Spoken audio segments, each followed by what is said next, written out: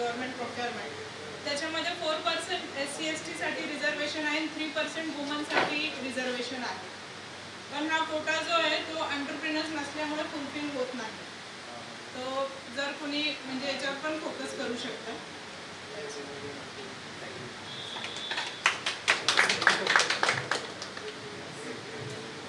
आपल्यापैकी कुणाला जर काही बोलायचंय तुम्हाला प्रशिक्षण कसं वाटलं? आणि तुम्हाला काय शिकायला मिळालं आणि अजून तुम्ही याच्यातून कुठपर्यंत जाऊ शकता तर एक दोन तीन म्हणा आपलं एक एक मत मांडा त्याच्यामध्ये. आणि गुगलवरती फेसबुकवर आमचे रिव्ह्यूज द्या. हो.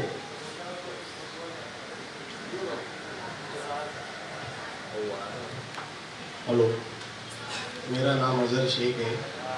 दो दिन के प्रोग्राम बहुत ही अच्छा हुआ बहुत ही बढ़िया हुआ। और ये प्रोग्राम होने के बाद मुझे ऐसा लग रहा है कि मैं आज से ही कॉन्ट्रेक्टर बन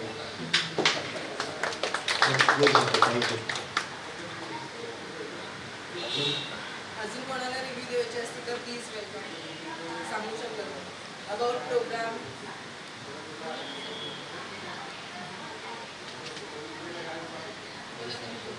काही सजेशन्स पण सांगू शकता. हा त्याने आपल्याला पुढच्या याच्यामध्ये यांनी अजून काय केलं पाहिजे?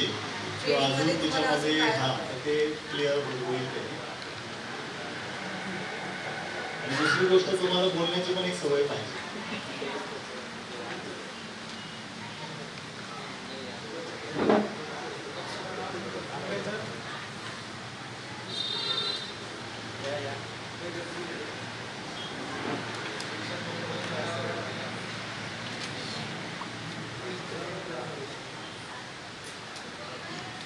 नमस्कार. सर्वांना माझा नमस्कार. कालपासनं जे काही आपल्या सरांनी हर्षद सरांनी आपल्याला जे मार्गदर्शन केलं ते आमच्यासाठी म्हणजे आम्ही कसं दूर होतो त्यापासून. काहीच माहिती नव्हतं. आपण म्हणतो ना का आपण जेव्हा पहिलीला ऍडमिशन घेतो त्यावेळेस आपल्याला काहीच माहिती नसतं. आपण सगळं अननोन असतो त्या गोष्टीतून. आणि त्यांचं जे मार्गदर्शन आहे त्यांचं जे ध्येय आहे का जे आमच्यासारखे इच्छा असूनही आम्ही काहीच करू शकत नाही. ऍक्च्युली आम्हीच त्याचे समोरचे भविष्यामध्ये काहीतरी त्यांच्या त्यांच्यासाठी सुद्धा कॉम्पिटिटर असणार आहे. परंतु त्याचा सुद्धा त्यांनी विचार केलेला नाही. म्हणजे आमच्यासारखे त्यांनी आता हजारो घडवले असतील. तेच कॉम्प्युटर कॉम्पिटिटर असणार भविष्यात त्याच्यासाठी. पण त्याचा विचार न करता ऍक्च्युली त्यांनी एक प्रकारची मोठी समाजसेवा समाजसेवाच केलेली आहे. आणि त्याच पद्धतीने कोणत्याच गोष्टीचा विचार केलेला नाही त्यांनी. तर आणि त्याच पद्धतीने S P Seva women entrepreneurs foundation यांनी जे काही आमच्यासाठी हे मोलाचं व्यासपीठ उपलब्ध करून दिलं त्याबद्दल त्यांचं सर्वांचं सर्व टीमचं मी खऱ्या अर्थाने अभिनंदन व्यक्त करतो. आणि भविष्यात हर्षद सरांनी असंच समाजसेवा आमच्यासारख्या ज्या काही जे काही उमेदीने काम करणारे जे काही ठेकेदार असतील त्यांच्यासाठी सुद्धा त्यांनी असंच काम करावं. आणि भावी वाटचालीस त्यांना खूप खूप शुभेच्छा का त्यांनी हजार करोड काय दहा हजार करोड करोड वीस हजार करोड म्हणजे अदानी ग्रुप सारखं त्यांनी काहीतरी वेगळं करावं असं मी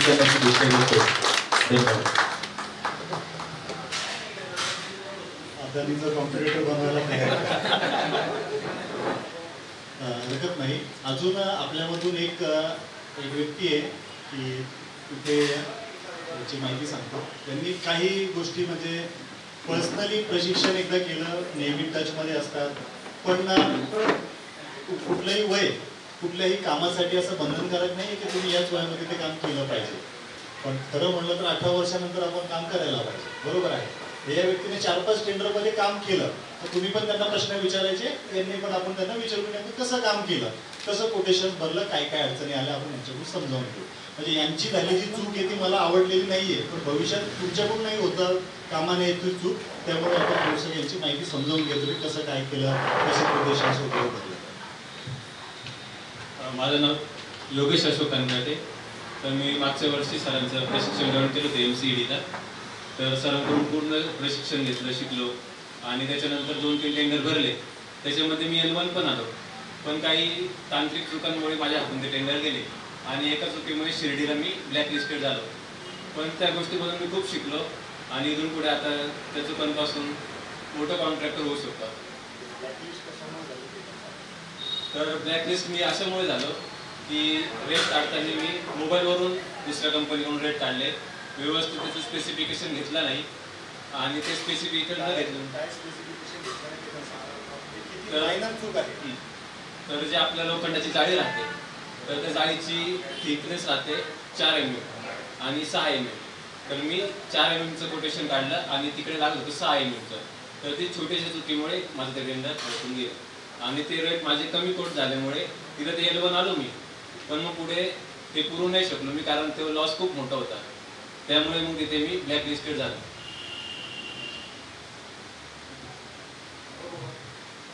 तर चूक आहे छोटीशी पण आपण रेट देताना तुम्हाला आता ह्या चुका करायच्या आहेत.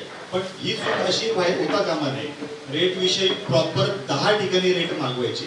कदाचित त्यांनी एकाच सप्लायरवर डिपेंड असणार की ठीक आहे मी तुझ्याकडनं सप्लाय घेईल पण टेंडरमध्ये कमीत कमी तीन ते चार जण बायबॅकला ठेवायचे. एक वेगळ्या कंपनीचा तो वेगळ्या कंपनीचा तो वेगळ्या जिल्ह्याचा तो वेगळ्या याचा. तर अशी चूक कोणाकडून होता का नाही कारण इथून सुटका नाहीये. बाकी ठिकाणी तर आपण सर्व करू शकतो पण ब्लॅकलिस्टमध्ये तिथे जायचं नाहीये. हे एवढे काय ब्लॅकलिस्ट झाले म्हणजे पूर्ण संपलं नाही पण एक संस्थांसाठीचा जो मार्ग होता तो यांचा सध्यासाठी बंद झालेला आहे. दुसरीकडे मार्ग अजून ओपन आहेत पण शक्यतो असं होता कामा नये. जर ठीक आहे जर महाटेंडरच्या साईटवर असं झालं तर महाटेंडरच्या साईटवर तुम्हाला भविष्यात बिझनेस करता येणार नाही. मग अशा आपल्याला होता कामा नये एम एम काय तुम्हाला सांगितलं ना square metre running metre square feet kilo brass हे सगळ्या गोष्टी पाहायच्या आहेत. आठ तासाची ड्युटी बारा तासाची ड्युटी चोवीस तासाची ड्युटी ह्या प्रत्येक गोष्टी प्रॉपर तिथे बघूनच रेट कोट करायचे. समजत नसेल तर दहा वेळेस त्या गोष्टीवर चिंतन करा दहा लोकांना विचारा. तुम्हाला एखादा गोष्ट खूप काही तुमच्या कल्पनेच्या बाहेर नाही समजत तुम्ही मला विचारा. पण पूर्ण गोष्टीची माहिती जोपर्यंत होत नाही तोपर्यंत त्या ठिकाणी तुम्ही कोट करायचं नाही. परत सरांसाठी जोरदार टाळ्या होऊन जाऊ थँक्यू सो मच सर. आणि आपला आता ग्रुप बनलेला आहे. इकड इकडून पुढे आपण अजून ट्रेनिंग्स घेणार आहोत वेगवेगळ्या विषयांवर. आणि आता सध्या आपलं अपकमिंग मुंबईमध्ये असणार आहे ट्रेनिंग सरांसोबतचं. सो ह्याच्या जे काही तुमच्या अपडेट्स असतील अजून तुम्हाला काही ट्रेनिंग्स हव्या असतील दोन दिवसाचा पुरेसा अवधी नाही आहे तुम्हाला अजून डीपमध्ये ट्रेनिंग हवी असेल तीन दिवसाची पाच दिवसाची किंवा ओव्हरऑल वन मंथची आम्हाला लवकर लवकर तुमचे सजेशन्स कळवा रिव्ह्यूज कळवा तुमचा एक्सपिरियन्स कळवा म्हणजे तसे आम्ही इन फ्युचर आमचे ट्रेनिंग शेड्यूल करू शकतो. आणि तुमच्या इथून पुढच्या वाटचालीसाठी खूप खूप शुभेच्छा. तुम्ही खूप सुंदर काम करा. आणि आम्हाला कळू द्या की तुम्ही किती छान काम केलं आणि तुमचा एक्सपिरियन्स सगळ्यामधून तुम्ही आम्हाला कळवा की तुम्हाला हे ह्या गोष्टी किती हेल्पफुल झाल्या. आणि तुमच्या भावी सगळ्या पुढच्या वाटचालीसाठी खूप खूप शुभेच्छा. एच पी सेवा करून. Thank you so much